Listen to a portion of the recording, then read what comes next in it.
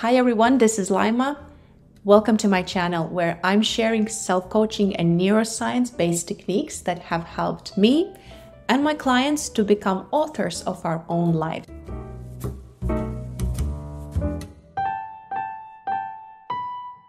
As we kick off the new year, many of us dive into goal setting and adopting new habits. But how often do we find ourselves falling short of these aspirations? In this video, I would like to share a common reason why we do so and what to do about it, how to minimize procrastination and how to avoid burnout. If this is something that resonates with you, please keep watching. I believe we all have commitments that we dropped at some point, whether it's uh, online course or gym membership that is about to expire without even being activated. I've been there and I hate to remember how many projects I dropped simply because I did not realize how much time I have and how much time I will need to invest in this project. For example, course in Swedish, course in YouTube, actually starting YouTube, course in neurobiology. That's a shortlist only for 2022 of commitments that I failed to complete. When we embark on a new project, we tend to fall into optimism bias trap. Uh, when we tend to overestimate our capacity for change. So, what's the optimism bias? Let me read this out for you. Optimism bias is a well documented phenomenon in the field of cognitive psychology.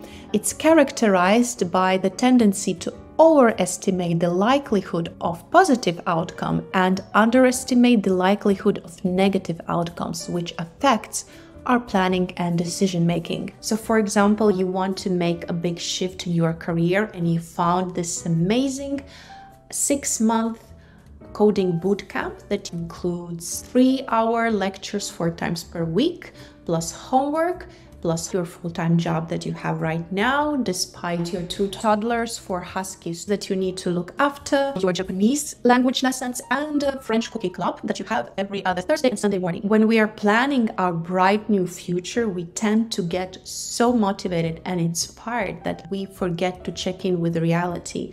And reality is that if you look at your ordinary week, that consists of 168 hours, you deduct the time when you are supposed to be asleep.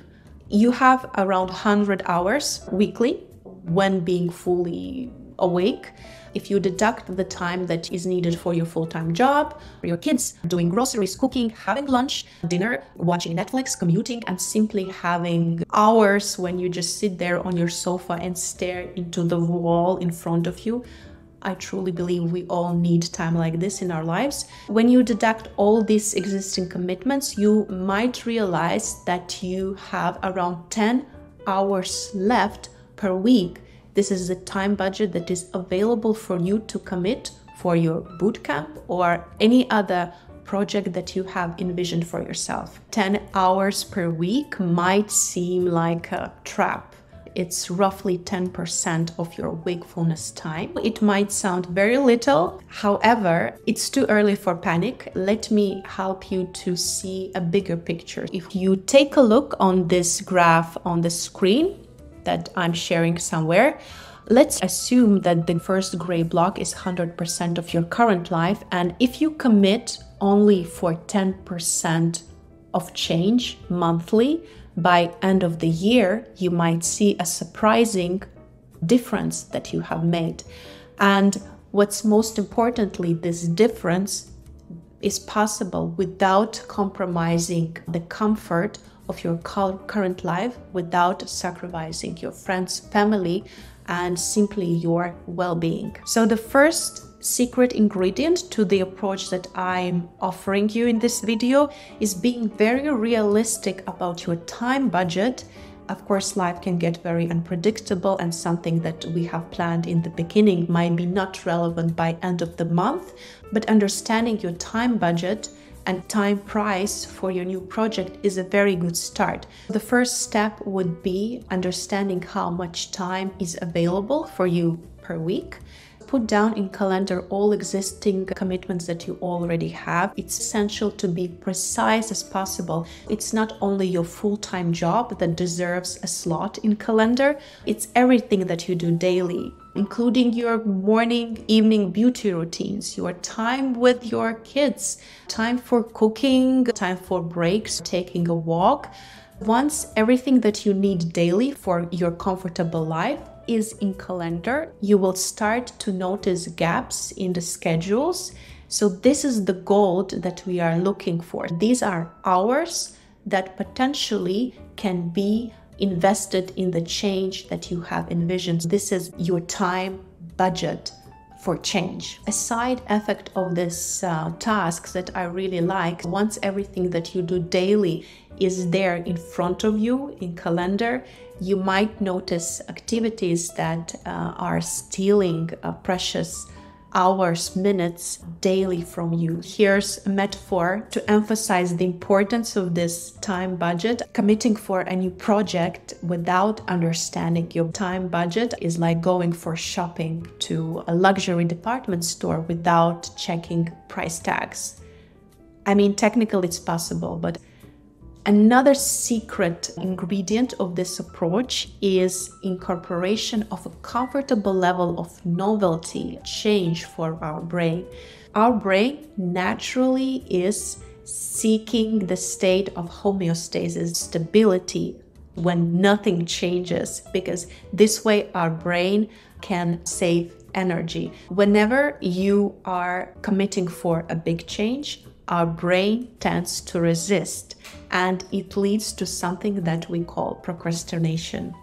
Here's another metaphor asking your brain to commit for a big change at once. It's like showing up uh, at your first date and start making wedding plans unless you don't want to see this person ever again but that's a different story. My time budget for change is 15 hours per week.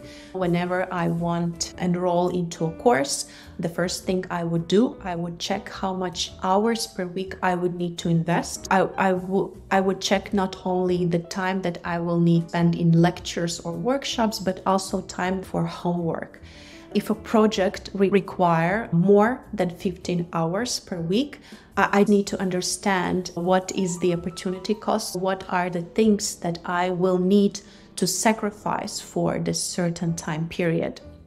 With this simple approach to goal setting in past 12 months, I managed to get two coaching certifications. I was working as a group coach in three month uh, self-development program and I got probably in my best shape ever just because I committed for regular yoga classes.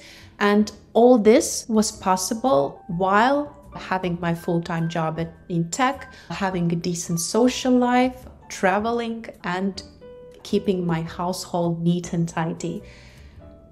Well, relatively. Let's sum up. In order to increase likelihood of achieving your goals, the first thing first is do your time inventory.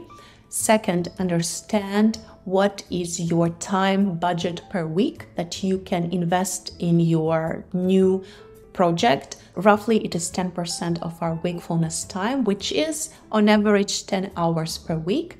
Thirdly, give a time price tag to a project to which you want to commit. And finally, be mindful about the opportunity cost. To wrap this up, there is a great quote by David Allen who said that you can do everything. No, it's the other way around. You can do anything, but you can't do everything. Thank you so much for watching this video and I would be really curious to know what has been the most useful for you. So let me know down below in the comments. Please don't forget to hit that like button. I would really appreciate that. Thank you so much and see you in the next video. Bye.